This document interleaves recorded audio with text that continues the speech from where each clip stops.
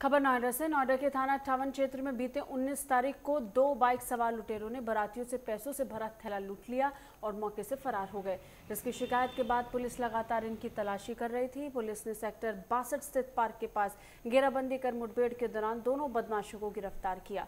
जिसके बाद घायल अवस्था में एक बदमाश को अस्पताल में भर्ती कराया गया।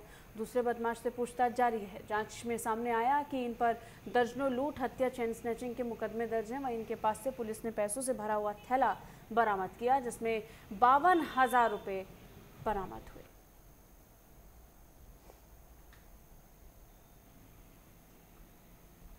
हमारे सी पी टू और सेक्टर फिफ्टी एट के ओ उनकी टीम लगातार इसमें काम करना शुरू कर दी। हम लोगों को वहाँ से कुछ इंपॉर्टेंट एविडेंस मिले। वहाँ पे जो फुटेज वगैरह थे, उन लोगों से हम लोगों ने बहुत सारी चीज़ें एक्सट्रैक्ट की। काफ़ी मेहनत करने के बाद हम लोगों ने ये जो क्रिमिनल्स थे इनको हम लोगों ने लोकेट किया और इनके ऊपर हमारी टीम लग गई आज पुनः, चूँकि ये बहुत ही शातिर गैंग है और तमाम घटनाएँ इन लोगों ने की दर्जनों घटनाएँ किए हैं एनसीआर में। ये बेसिकली हर तरह की घटना करते थे। चैन स्नैचिंग भी करते हैं मोबाइल स्नैचिंग भी करते हैं और पैसा भी लूट करते हैं।